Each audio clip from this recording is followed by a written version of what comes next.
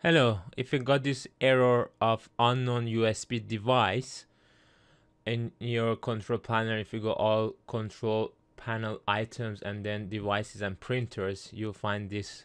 Or if you go to device manager and you go to the universal serial bus controllers, you will find this unknown USB device error. In order to solve this error, you have to follow these steps you have to click on the first one then click on update driver software and then click on browse my computer for driver software. And then you click let me pick from a list of device drivers on my computer. And then you see this one. And then you click that one and then you click next.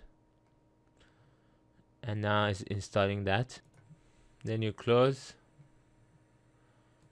this other stuff's open and you can see that error is vanished.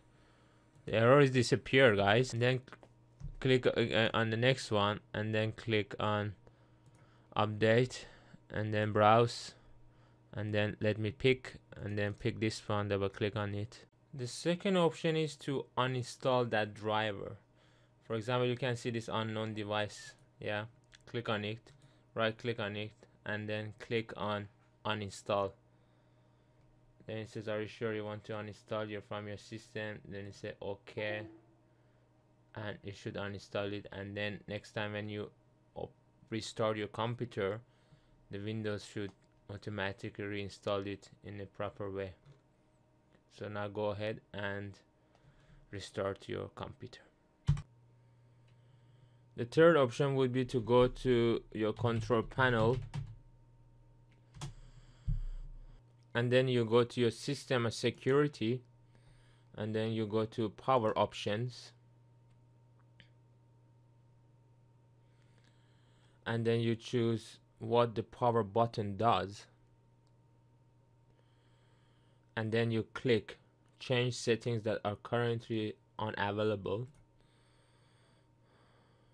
so that you will get the permission if you have the administration rights to your computer then only you can change. And then you have to uncheck this option that turn on fast startup it says recommended but turn turn this option off.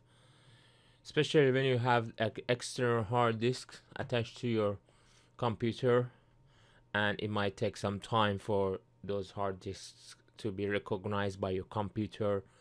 So it's better to give your PC some time to recognize it right and to try to just make it to start off fast.